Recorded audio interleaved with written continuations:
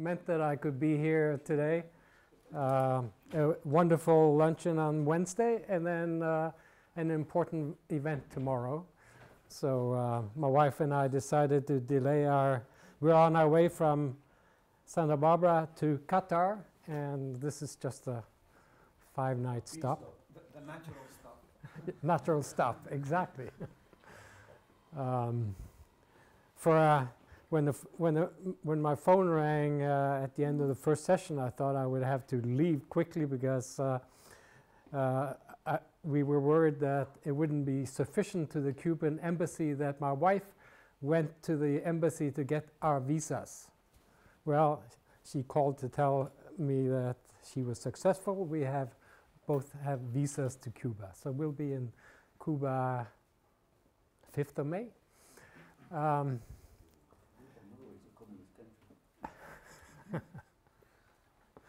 um, so, so this um, uh, this is a joint paper with uh, Carlos Garriga, who's at the St. Louis Fed, and Roman Šustek, who's at uh, uh, Queen Mary. He used to be at uh, Southampton, but he uh, got tired of, uh, of commuting, so he, he is now in London.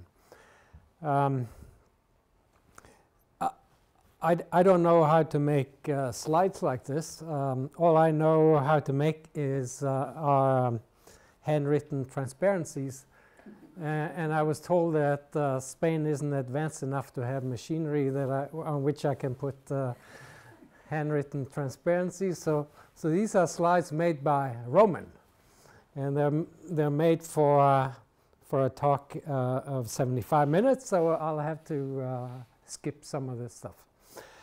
Uh, the- general area of uh, residential construction has interested us for a while. Um, it sort of started by observing that uh, different countries, uh, uh, the, the extent to which either residential construction leads the cycle, uh, i- i- the United States is a key example of residential construction leading the cycle by two or three quarters, as opposed to other countries where it's more or less uh, coincident. And then there's the interesting observation that um, that uh, in some countries, for various reasons, uh, mortgages are uh, mostly fixed rate. Other other countries, they're most, uh, mostly adjustable rate. Uh, and there are also interesting features about how interest rates move over the business cycle. So, so, uh, and uh, this is an area where um, what happens is not small. Um, um, if you look at the size of the mortgage debt as a percent of annual GDP, it in some countries it's getting up around 100%, uh, as large as uh, as uh, annual GDP, and the mortgage payments as as uh, as a fraction of net income, uh, as you see, uh, around 20% in the United States, even more in uh, and the uh, UK, even more in uh, Germany and France. Um, so, so our idea is that uh, these days lots of people try various sorts of rigidities, either in uh, prices or wages.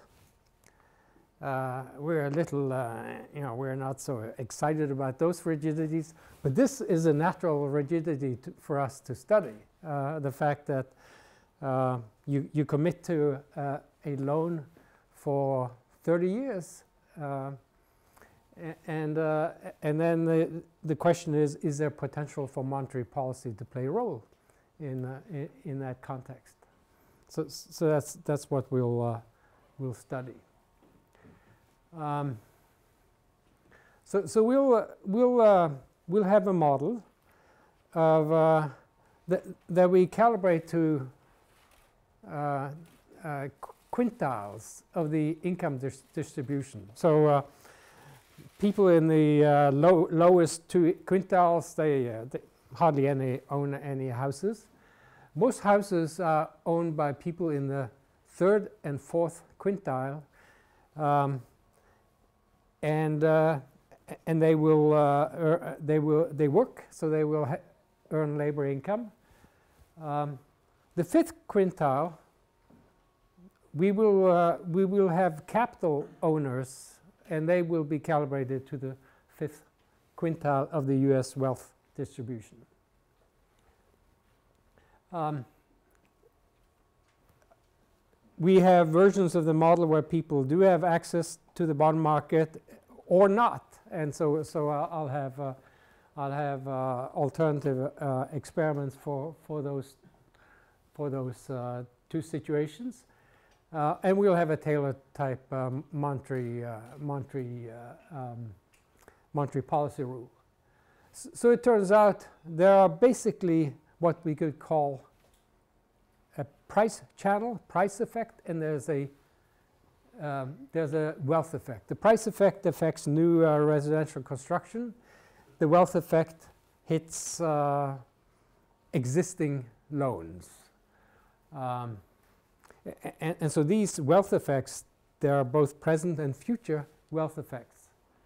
Uh, so, so we'll ab abstract from all other rigidities. No, uh, I mean, you could put in other, other stuff if you want to, but we'll to try to focus on, on the role uh, of these uh, different mortgages, adjustable rate mortgages versus fixed rate mortgages, no other rigidities. Uh,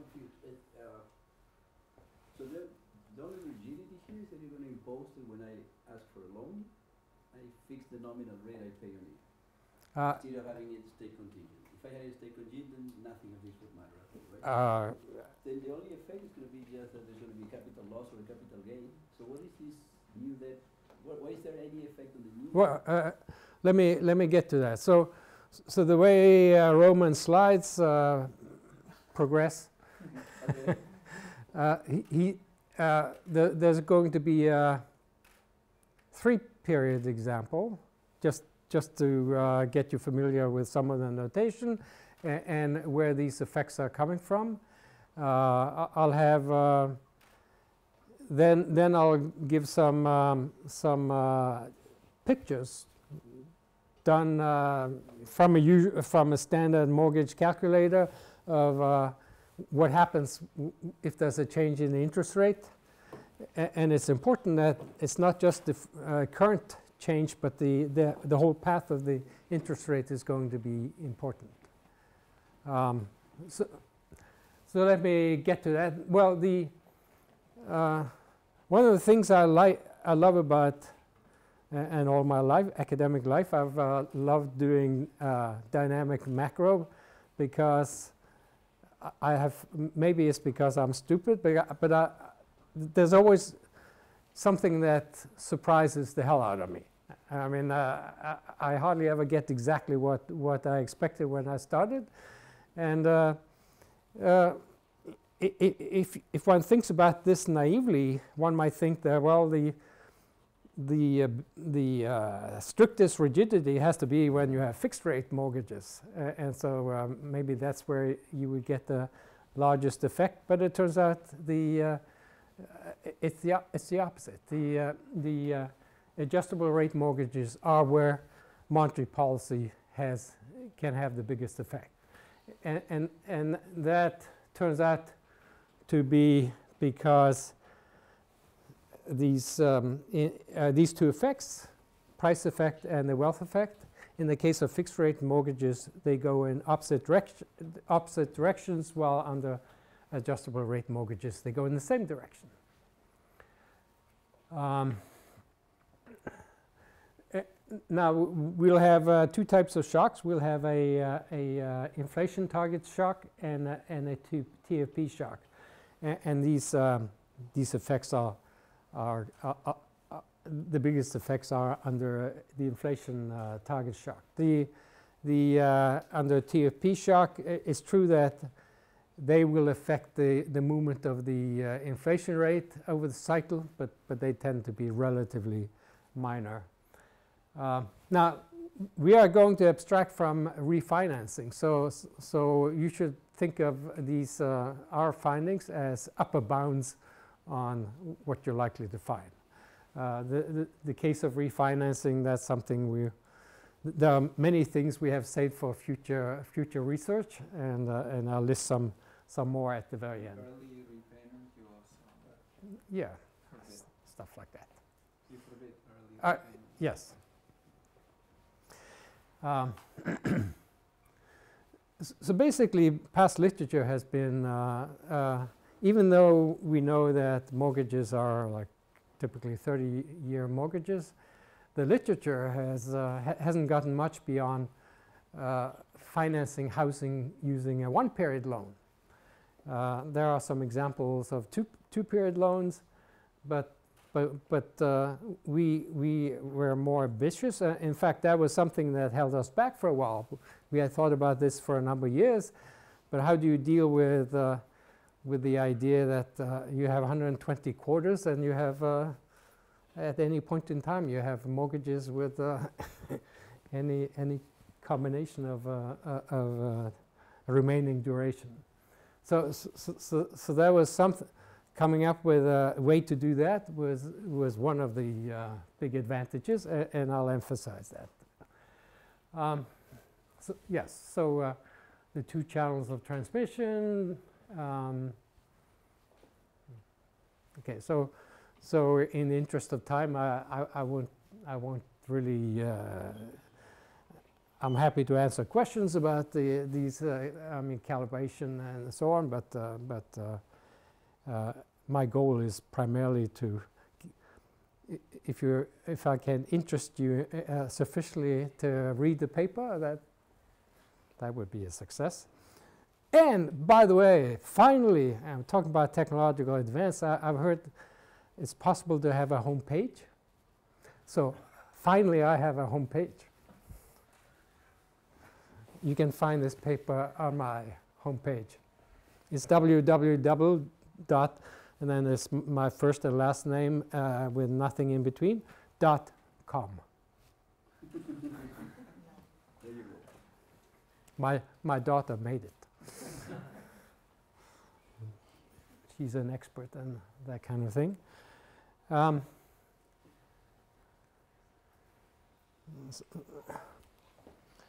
um, so so that's an example of a, a case where the apple fell very far from the. okay, so. So, so let's, let's just do a very simple example, and, and I won't have time to go through all of the aspects of it, but just to get you started uh, uh, in thinking about how, th- how this works. So, s- s- so let's have home, homeowners used for, uh, live for three periods.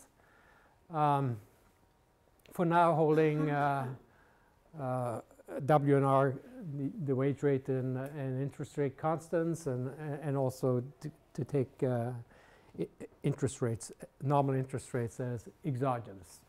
This, this, all of this will be relaxed because it- there will be a full general equilibrium model where all of this uh, uh, moves in, in, in equilibrium. But, uh, but this is just to illustrate what's going on. So let's, let, let's say the homeowner has utility function over consumption in three periods, uh, plus uh, va- evaluates housing. Um, so the uh, three uh, period budget constraints you have you buy the housing and consumption first period using your income and you you borrow uh, L is the nominal loan so this is in real terms and that's going to be um, we'll take that as a as a fraction of of the uh, of the house uh, in, in the United States that theta on the average has uh, hovered around 0.76, so that's uh, gives you an idea of the order of magnitude.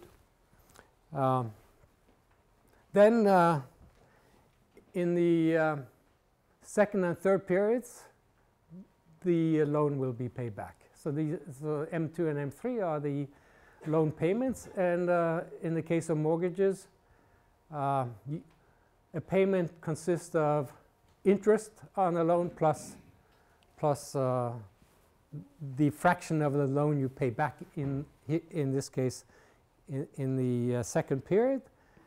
and then similarly in the third period, the remaining fraction you pay back. A- And, uh, Those have to be real. pardon, Those have to be real rates. No, those are nominal. They have to be real. The I2 and I3? Yeah, yeah, the C two is basically units of consumption. It's divided by fee. But yeah, M is divided by, But the L, or the. Yeah. Uh-huh. Then you need to, okay. um, and, and um, the standard mortgage says that payment in every period is equal. So that means that uh, this amount is equal to, to that amount. Uh, But of course, uh, so that means that uh, in, in, uh, in practice, uh, in the beginning, most of the payments are interest, in the form of interest, and then it goes the other way. Um, So adjustable rate mortgage means you, in every period, you set the interest rate to, uh, to what the interest rate was last period. While in a fixed rate mortgage, the interest rate in both periods will be equal. But of course, uh, in, in the fixed rate case, they will be set so that the present value of uh, your payments, uh, of one dollar of a mortgage uh, is one dollar. So, uh, so, so, uh, so that's, that's what would, de- would determine what, how large this, uh, this uh, fixed rate uh, will turn out to be. They, Uh, I mean, but in practice, right, they either have to, well, they, I guess they have a fixed cost, but they set the interest rate maybe a bit higher to insure the bank against prepayment. Right, I mean, in, in practice, the fixed rate mortgages are really adjustable rates if you go down, and that screws the bank, right? Something like that. I mean, uh, yes. Something like that. Okay. Uh, that will not be the, my first project to work on, but, Okay, all right. You're gonna work on more important ones. All right. but uh, I, I agree. There, there are all kinds of interesting aspects uh, uh, in this sec- in this area where, where uh, all, kinds of things I can I can see PhD students want, wanting to work on. So, um, okay, so so there, there's one uh, important first order condition, uh, a- a- and uh, and and this is. Uh, it involves kind of a wedge um, um, that affects investment in housing. And this, this wedge, i- you know, it, it, um, it, it works uh, like a, an ad valorem, uh, either a tax or a subsidy on, on uh, investing in, in housing. Um, I think there's a typo in. I'm joking. It's Roman's fault. I, I'd be surprised as hell. A Roman is. qu- yeah. But the, so so, so, so A- FRM and IRA, ARM is what? Fixed rate mortgage. fixed rate mortgage and Adjustable adjustable rate. Yeah. Mu's are multipliers, right? So so so um, in this case, in this example, we're not going to let the uh, uh, homeowner have access to uh, financial markets, which means that th- uh, they um, their stochastic uh, stochastic uh, discount rates are different from, let's say, the the discount uh, rate in the in the capital market. uh, um, and that's what these these are. This this is mu one two, for example. That's beta times u prime of c two divided by u prime of c one. Uh, so that will be different different from uh, the usual uh, pricing kernel. Um, a- and so these are really the present values of the payments of a one dollar lo- loan. Um, evaluated at, at those sto- stochastic discount rates.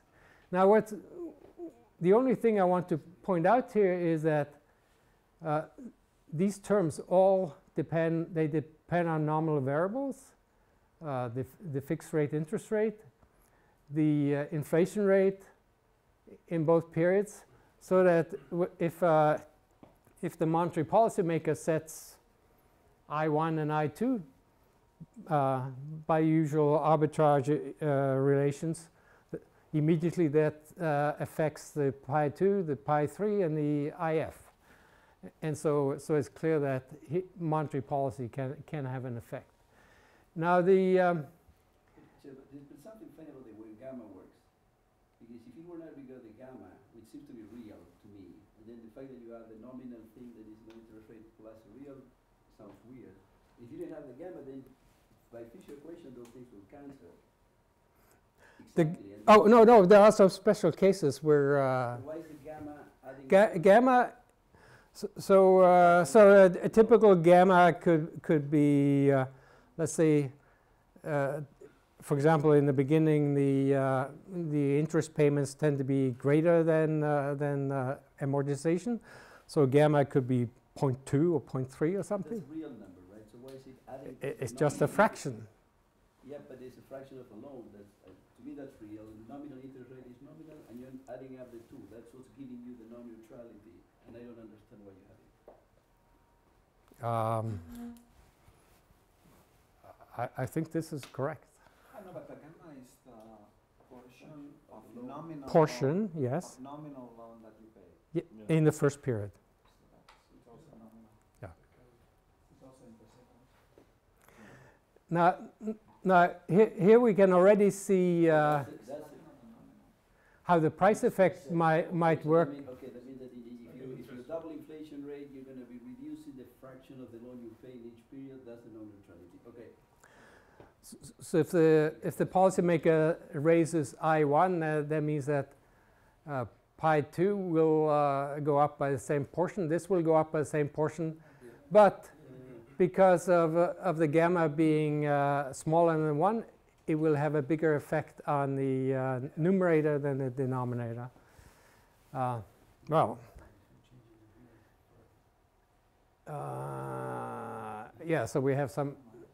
I'm going to skip the wealth effect and just talk about it briefly when I show some pictures of, uh, of how this would work for, for a 30-year mortgage.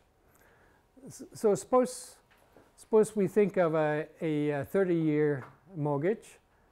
Uh, the interest rate is 4%. This is a numerical example.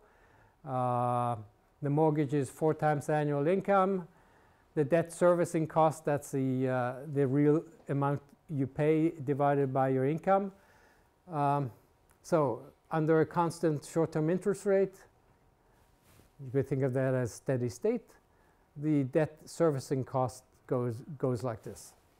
Now suppose, suppose the, um, the Fed eases, as they call it. Uh, they reduce the interest rate um, by, by, uh, by three percentage points.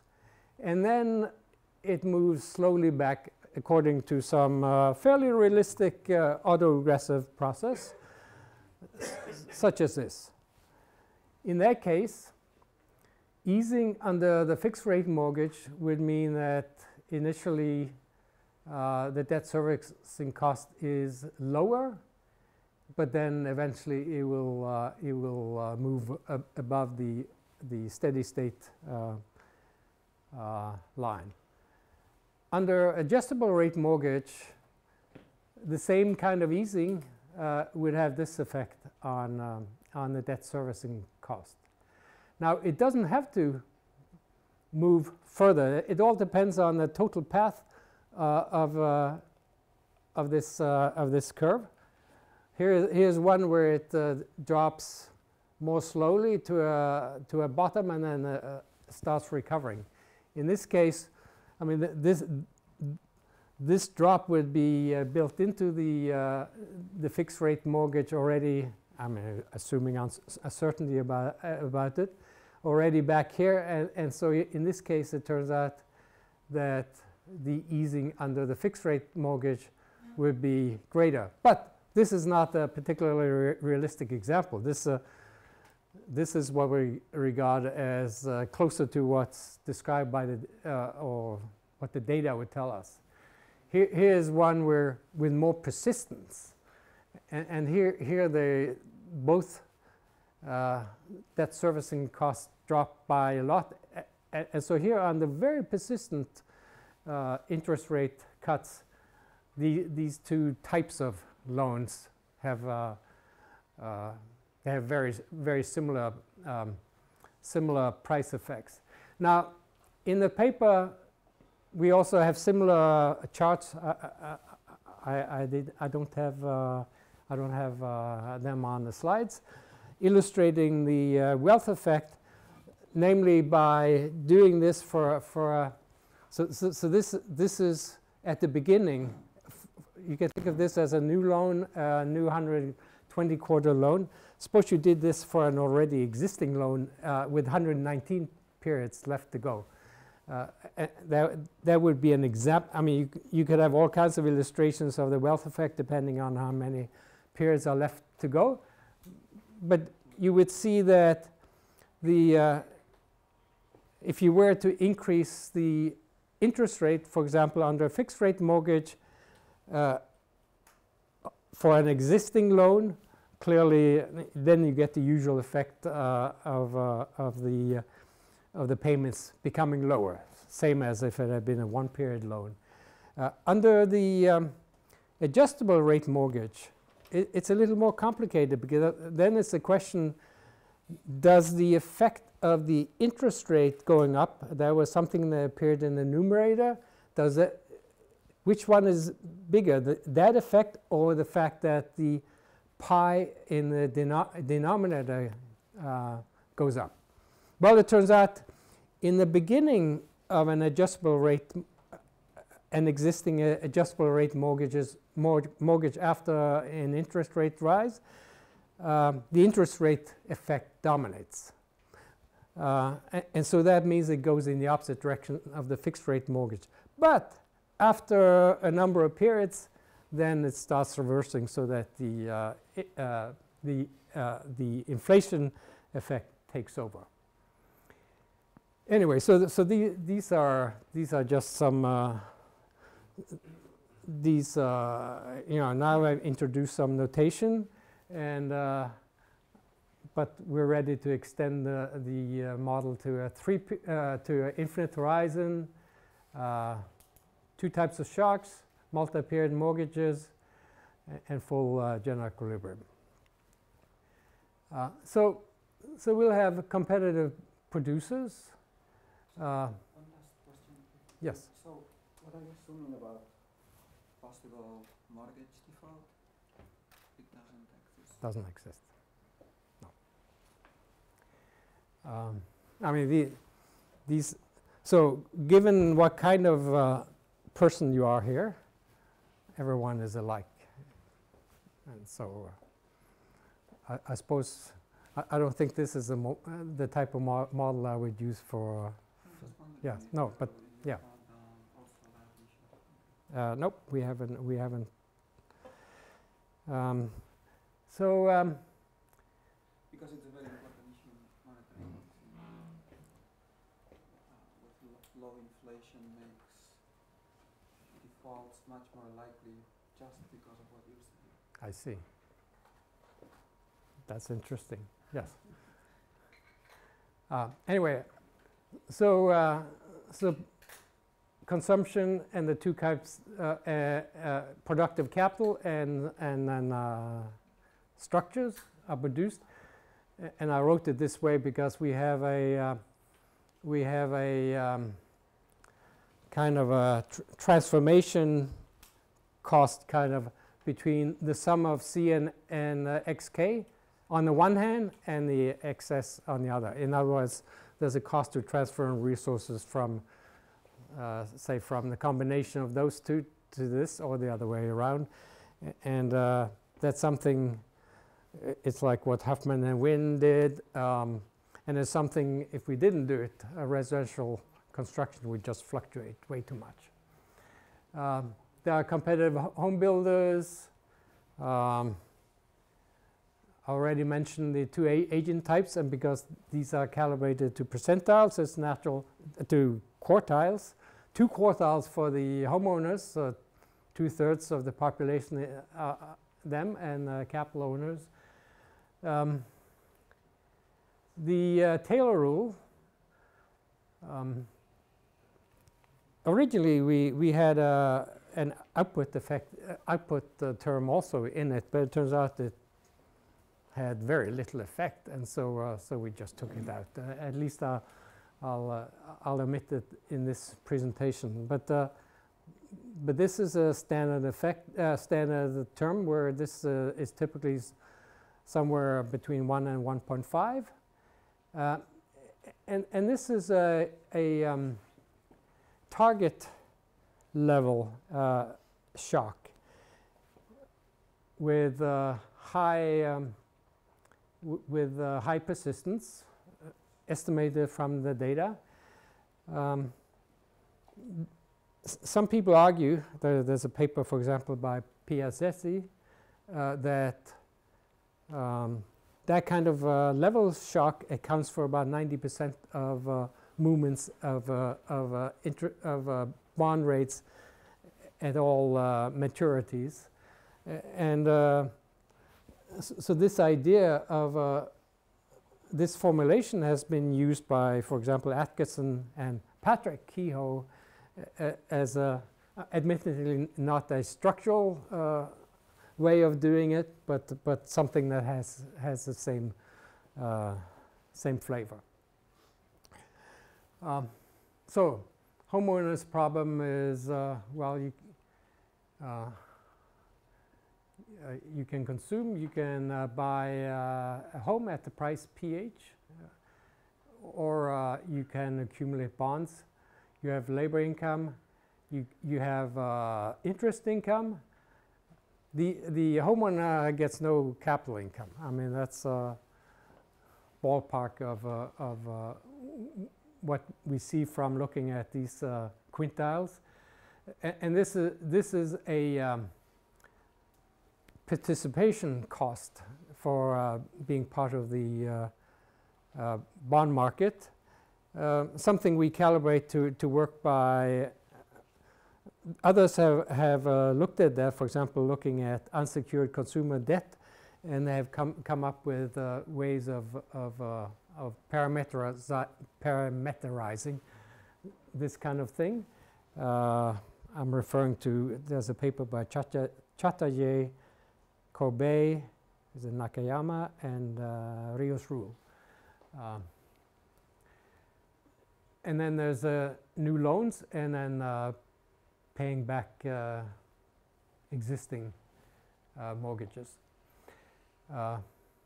This you saw, uh, and a standard law motion for, for the housing with a depreciation rate delta, delta H.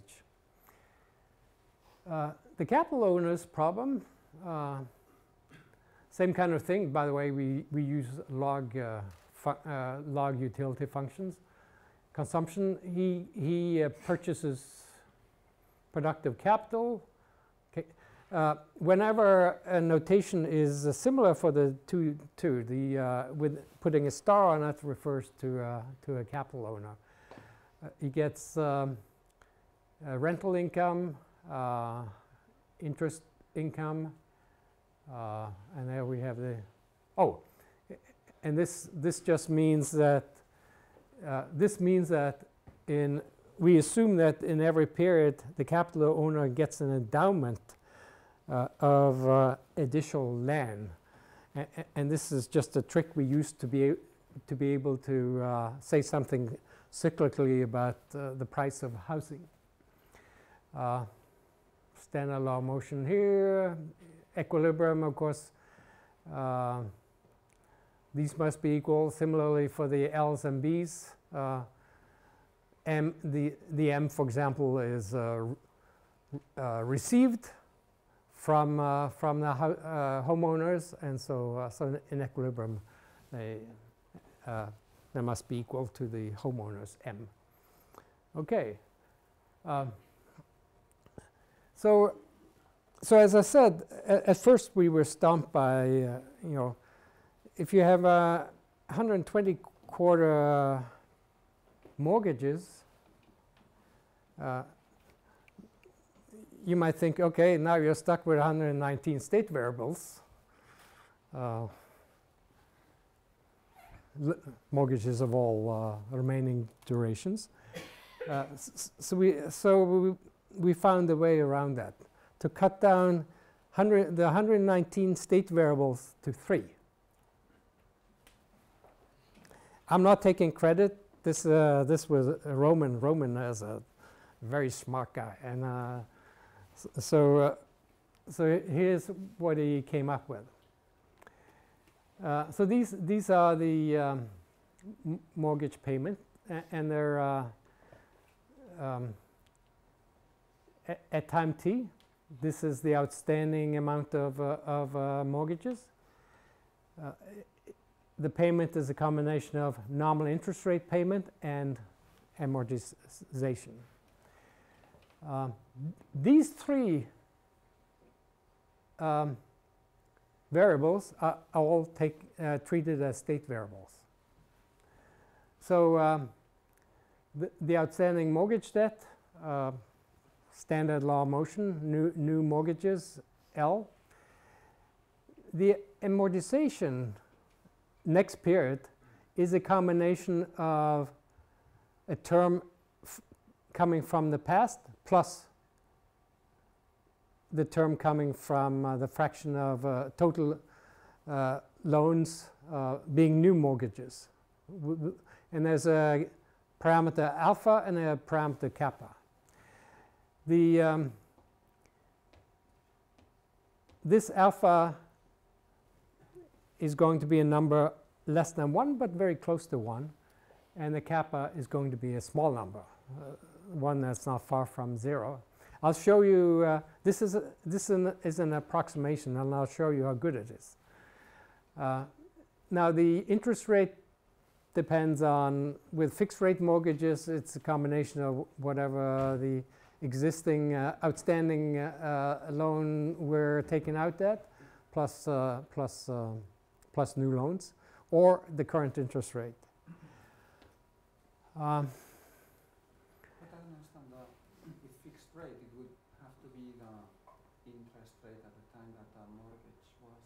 No, no, but you remember, you, the, the, this, this is the fixed, the, the, the interest payments on a whole portfolio of uh, mortgages at, at all uh, uh, maturities.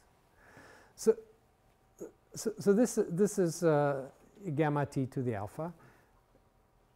Um, the, the fully drawn lines, represent the approximation. So this is uh, the approximation of the uh, steady mortgage payment in, in nominal terms. This is, uh, this is the remaining mortgage, uh, depending on uh, how far into it we are. This, here you see the uh, portions of interest rate payments and amortization payments, and, and this is uh, this is the approximation error for, for this curve, uh, which uh, up until the 80 quarter duration, this is an amazing, amazingly good approximation. In fact, one can, one can go a step further and, and uh, have a high order uh, uh, polynomial in the approximation, and then it becomes even more amazing. Now, um, so this is for, for a steady state. You may wonder how well does that deal with uh, things moving uh, subject to shocks, blah, blah, blah. Um, Roman gave the paper with the discussant. The discussant took it upon himself to program up the exact uh, solution. Um, it took uh, three hours to solve on the compute on a workstation. Uh, the approximation takes a couple of seconds. Uh, and it turns out uh, even, even stochastically it works uh, amazingly well.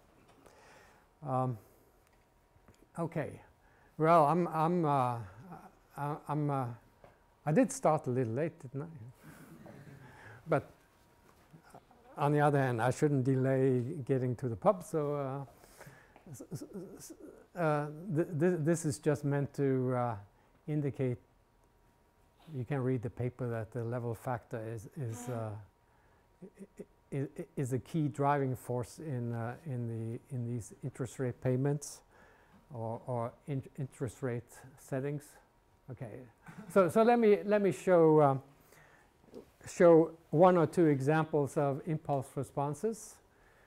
Um, and, and this uh, this is an example where the inflation target is raised by one percentage point. Uh, still with the same uh, autoregressive uh, uh, au- autocorrelation parameter of uh, not far from 1. Uh, so as you can see, basically both adjustable rate mortgages, fixed rate mortgage rates, they all go up by, by that or- order of magnitude. Um, here you see um, the effect it will have on the real mortgage payments uh, much big, much bigger effect on adjustable rate mortgages than on fixed rate. Uh, housing investment, um, initially a, uh big drop and then uh, steadily moving back while uh, with fixed rate mortgages kind of steady. Um, of course, uh, while the, uh, in the case of adjustable rate mortgages, while, while housing investment goes down, um, capital investment goes up. The, um, the capital owners uh, have an incentive to, to raise uh, investment and, and, and this is output. Um, those pictures were for the case where home, homeowners Yeah. cannot access bond markets. output effect is different from all you get in the Pardon? nominal price literature, right? Those guys get the the interest rate goes up and then output comes down. Here you get it to go up. Uh, And, uh, and the inflation rate is indeed uh, positively correlated with, with, with, uh, with, with output. with output. Yeah. Yes. Um, th- This just shows that if we give them asset, a- access to the, to bonds, then, then these, these effects are qualitatively similar, but they're, they're just smaller. This goes from minus eight to four, minus to four.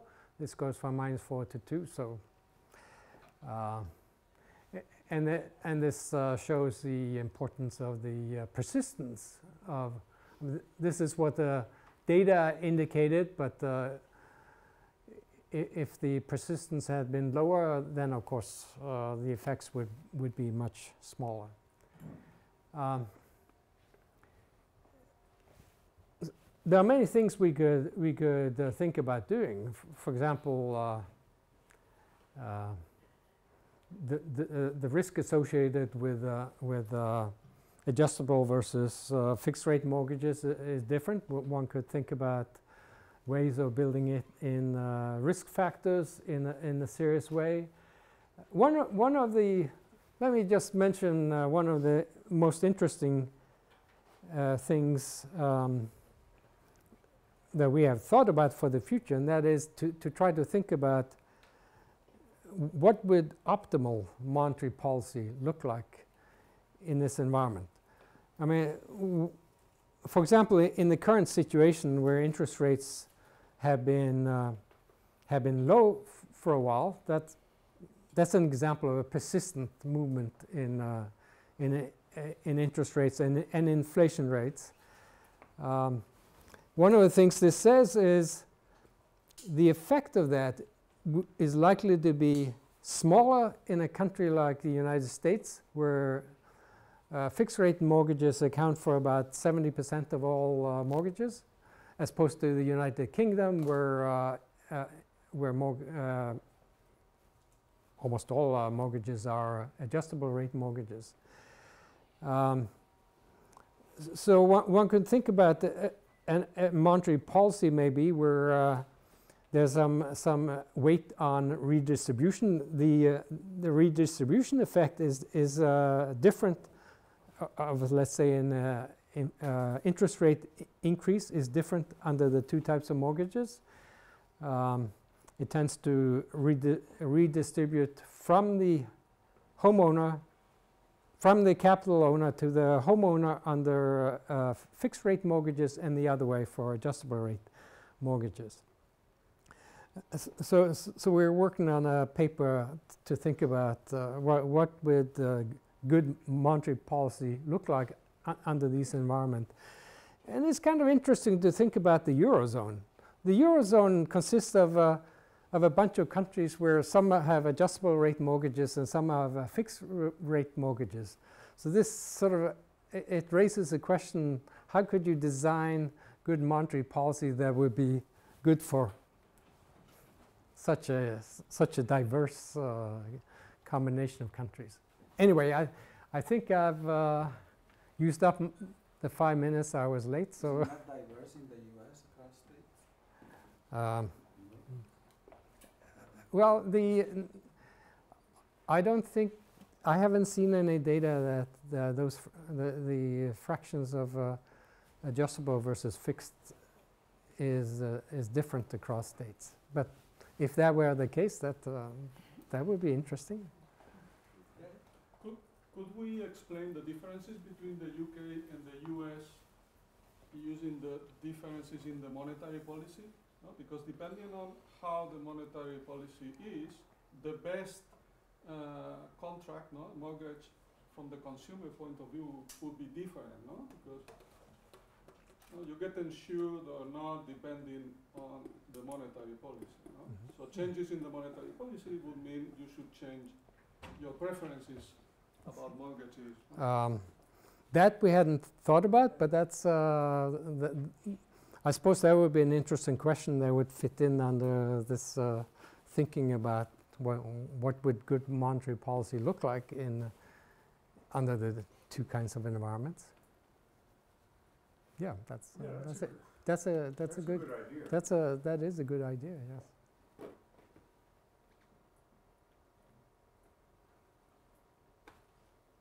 Entonces, Okay. Okay.